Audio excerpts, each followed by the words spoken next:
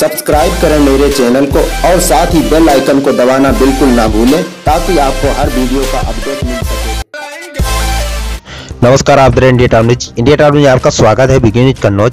कन्नौज ज़िले के छिबराम और कोतवाली क्षेत्र में सरकारी पद चिकित्सक अधिकारी की बड़ी लापरवाही से चलते किसान की रोजी रोटी का सहारा छिन गया। बताया जा रहा कि छिबरामो क्षेत्र में तैनात उप पशु चिकित्सा अधिकारी doctor D N Lavania Chandra पैसों की लालच में एक्सपायरी दवा से जानवरों का इलाज करता था। पीड़ित खुड़वाना गाँव निवासी राम नरेश ने बताया की उसकी भैंस कुछ बीमार हो गई थी। जिसके बाद वे डॉक्टर लवनिया को अपनी भैंस को दिखाने के लाया। डॉक्टर लवनिया ने उसको कुछ दवा दी। मामला है। मेरा नाम संदीप है। सन ऑफ़ श्री राम नरेश दक्षिणी खुड़ावा पोस्ट अकबरपुर तहसील छिबरामू जिला कन्नौज का निवासी हूँ। क्या मामला है? मामला है सर मेरी भैंस बीमार उसका थन थोड़ा सूज गया था। हम डॉक्टर लवानिया जो हमारे यहाँ सरकारी डॉक्टर हैं उनको लिवा के लाए। तो उन्होंने चार इंजेक्शन लगाए बदले में हमसे एक हज़ार रुपये फ़ीस ली और उसके बाद चले गए।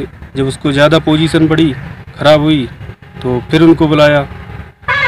फिर दवा दे के गए और पोजीशन ख़राब हो गई और ये एक्सपायरी डेट की ये जब बदले में मांगा। कहा, कुछ सरकार अपनी तरफ़ से दे दो।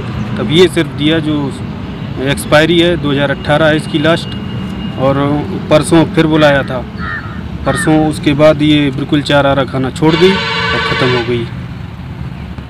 बीमार ज़्यादा नहीं थी करीब पंद्रह बीस दिन हो गए हल्की फुल्की थी बीमार जैसे जैसे दवा की डॉक्टर साहब ने वैसे वैसे बीमार पड़ती गई। ये दवा दी है ये इसके पीठ में लगाने के बाद उसका स्किन जो है आगे का सब उधल गया।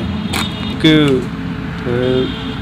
उस कोट में मुनी मुनी गिरी करते हैं। क्या अस्पताल लेके गए थे। छोटा हाथी में लाद के ले गए अस्पताल में उतारने नहीं दी बोला यहाँ कहीं जगह नहीं है घर ले जाओ वापस वहीं पर देखेंगे। बराबर फ़ीस की मांग भी करते हैं क्या? जी बराबर फ़ीस लेते हैं हमसे कितने रुपए फ़ीस लेते हैं? हज़ार रुपए प्रत्येक बार। क्या सरकारी डॉक्टर फ़ीस लिए लेने के जायज़ है बात? गलत है।